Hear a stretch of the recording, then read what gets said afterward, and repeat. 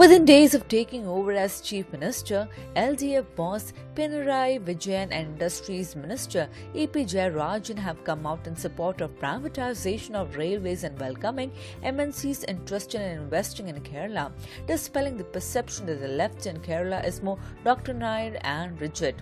We will look into the possibilities of bringing in private investments for the laying of railway track, Vijayan said after meeting Finance Minister Arun Jaitley last week. He also told reporters about the public private investment models in the state.